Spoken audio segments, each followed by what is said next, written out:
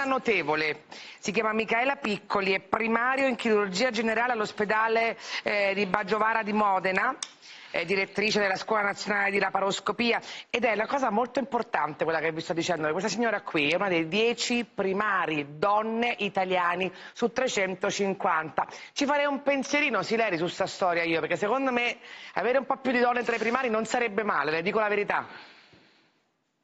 Sì, ora, ora, lei mi presenta Michela, Michaela, ma se chiede a Michela da quanti anni ci conosciamo, le saprà dire che è qualche anno che ci conosciamo, da ancora prima la mia attività da viceministro, quindi è una delle, è una delle se non, non, voglio dire la migliore perché altrimenti poi si offendono le altre, ma è sicuramente eh, diciamo, un fiore all'occhiello della chirurgia italiana e lei sa quante anche specializzande donne del mio gruppo sono andate a imparare da lei, credo che lo possa confermare allora, in diretta. Questo mi fa un gran piacere, vedo un bel clima fra lei e Michaela, però Michaela è bella arrabbiata perché nel suo ospedale succede una cosa che non va bene, vero professoressa Piccoli?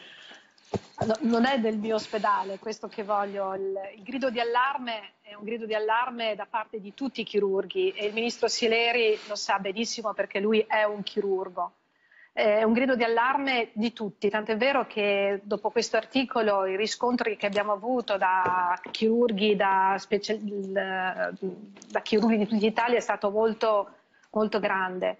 Il problema è che la cosa è diffusa in tutta Italia, nel senso che oggi purtroppo si può parlare e si può ragionare solo per, per i pazienti Covid, perché non abbiamo altri mezzi per, eh, per farlo. Dobbiamo trovare posti. Le normali operazioni per... si tendono a non fare in questo momento?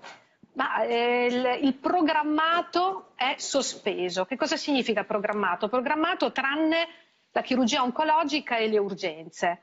Eh, il problema è che nel programmato c'entra dentro tante cose, non solo la chirurgia oncologica. Qui si cerca con tutti i mezzi di dare risposta, purtroppo non sempre sufficiente in tutta Italia per cui ci sono delle discrepanze a seconda delle, degli ospedali allora, e, delle, e delle sedi. Il problema è che nel programmato c'è tutta la chirurgia, il programmato non è la chirurgia non urgente, non è la chirurgia non necessaria. Certo. Gli interventi chirurgici quando vengono indicati sono tutti necessari.